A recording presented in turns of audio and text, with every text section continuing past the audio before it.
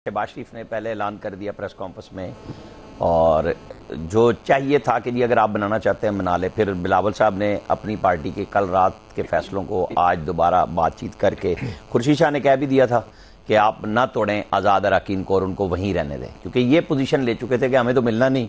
और दूसरे के पास जाने के लिए अपनी अखलाकी पोजीशन क्लियर कर लो। मतलब ये वो बयान हैं।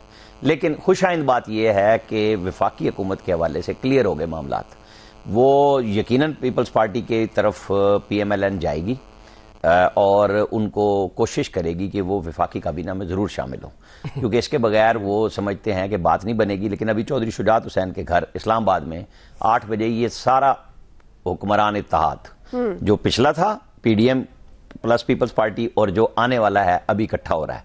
वहाँ सारे लोग आ रहे हैं ये, सब के सब, जितने हुकूमत में होंगे।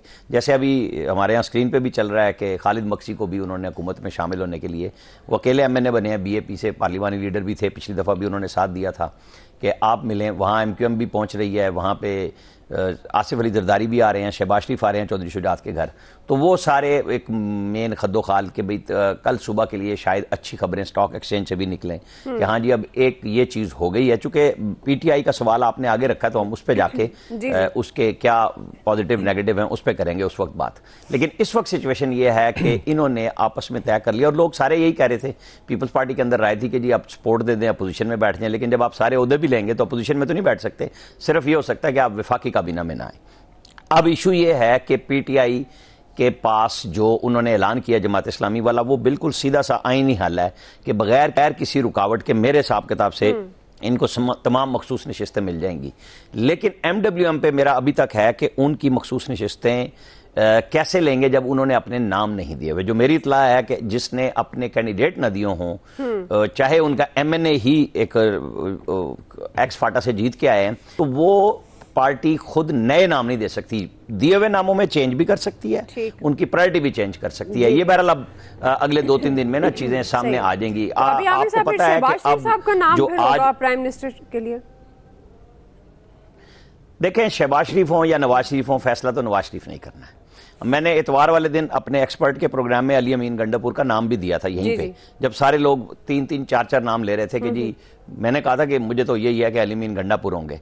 अब ये देख लें कि मरियम नवाज़ पंजाब में और कुछ लोग एतराज़ात कर रहे हैं कुछ आपको पता है सोशल मीडिया पे कुछ पेशिन गोइयों करने वाले मुख्तलिफ़ अतराफ से कहलाने वाले वो भी हैं हम्म। जो अकाउंट्स हैं उनकी तरफ़ से भी अली अमीन गंडापुर पे आया कि वो तो नहीं बन सकते। अब हम देखेंगे कि ये अकाउंट्स कहाँ से बोलते हैं और कितने सच्चे और झूठे हो सकते हैं क्या होगा। हाँ। लेकिन जो कानून हुकूमत साजी का काम है विफाकी हुकूमत का वो टेंशन के उस मरहले से निकल गया है कि जी कितने दिन तक मुजाकर करने क्योंकि ये हो रहा था ना हैजान है कि आज आप इसके घर आ रहे हैं कल उसके हम्म। घर आ रहे हैं।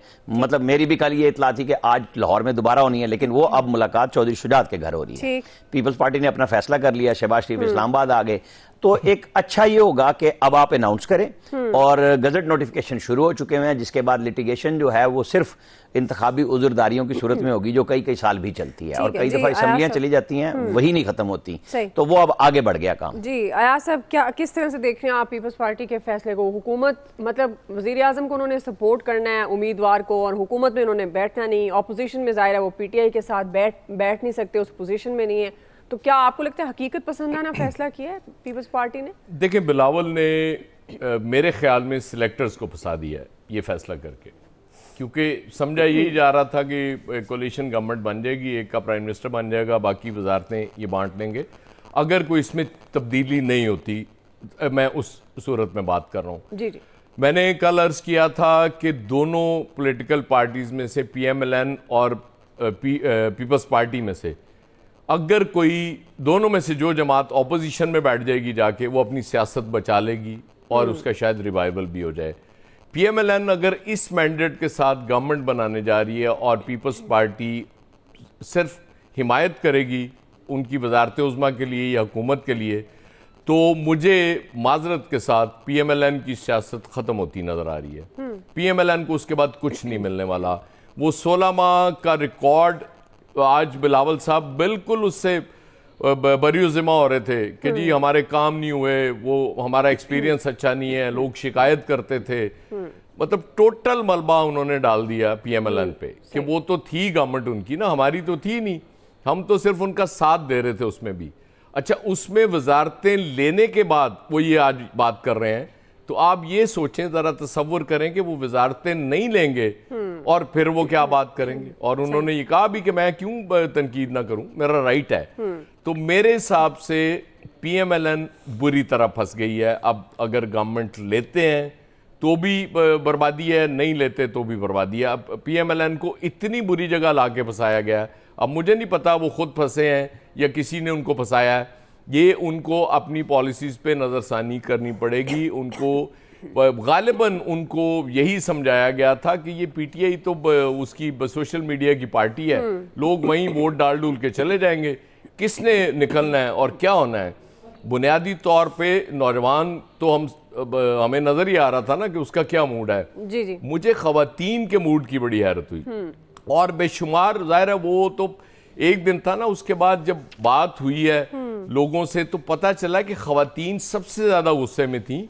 क्योंकि महँगाई को बर रास्त फेस एक खातून ने करना होता है जिसने घर चलाना होता है जिसको बच्चे भी लगते हुए अच्छे नहीं लगते उसको अगर कोई घर में बूढ़े कोई सास ससुर है वो भी मतलब बगैर उसके दवा के बीमार अच्छे नहीं लगते तो वो खातून सबसे ज़्यादा रिक और ये पहली दफ़ा शायद पाकिस्तान की तारीख में हुआ है हम्म। कि खातन ने इतना बुरी तरह रिएक्ट किया किसी उस हवाले से अब बाकी जो मर्ज़ी आप कहते रहे वो सर्वेज जो होते थे मुझे वो भी पता है। वो सर्वेज का भी नतज मेरे सामने है।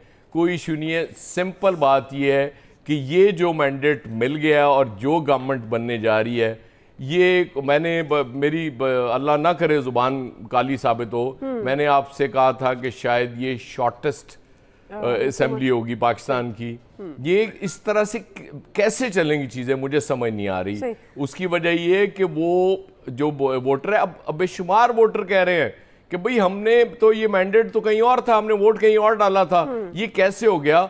और इतनी ब्लेटेंट जो तब्दीली हुई है रिजल्ट्स में हम्म। ये भी पाकिस्तान की तारीख में कभी नहीं हुई। मतलब एक भरम रह जाता था को ढके चुके अंदाज से कर लिया तरीके इंसाफ आ गई है।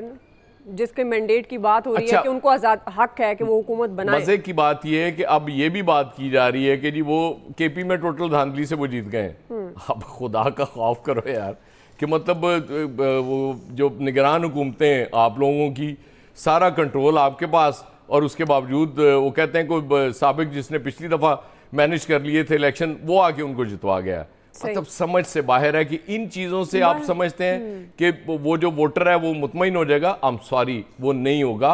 अपनी पॉलिसियों पे नज़रसानी करें। सबको आज मुझे जनरल क्यूम की बात वो पसंद आई कि लीडर्स और इदारों को सबको माजी बुला के आगे बढ़ना पड़ेगा। अब मुझे नहीं पता कि ये इस तरफ़ सोचा जा रहा है या नहीं सोचा जा रहा। हम्म, हम्म। नहीं सोचा जा रहा तो सोचना ज़रूर चाहिए। सही है। फैसल साहब ज़ाहिर है ये तो हमारे यहाँ आदमी है। छोटी सी बात जो जीतता है वो कहता है कि अच्छे इंतखाबात हैं जो हारता है वो कहता है धांधली लेकिन जो हारता है वो भी आप नहीं कह रहे कि धांधली हुई है। जी जी आमिर साहब आप कर ले।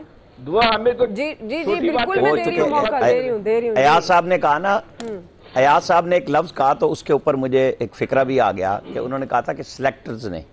तो सिलेक्टर्स की राय ये है जो मुझ तक पहुँची है कि मतलब मैंने तो कहा है ना कि पीएमएलएन ट्राई करेगी कि पीपल्स पार्टी को कैबिनेट में ले आए लेकिन सिलेक्टर्स की राय ये है कि पीएमएलएन को पूरी आज़ादी मिलेगी कि अपनी पॉलिसीज़ अपनी कैबिनेट के साथ लाए और फिर ताकि किसी को गिला शिकवा ना रहे। देखते हैं इसके ऊपर भी। ठीक है। जी। फैसल साहब फैसल तो इस सारे सिनेरियो में पीपल्स पार्टी समझते हैं हकीकत से करीब है ये हतमी फैसला है। फैसल साहब पीपल्स पार्टी का आखिरी और हतमी। नहीं हतमी और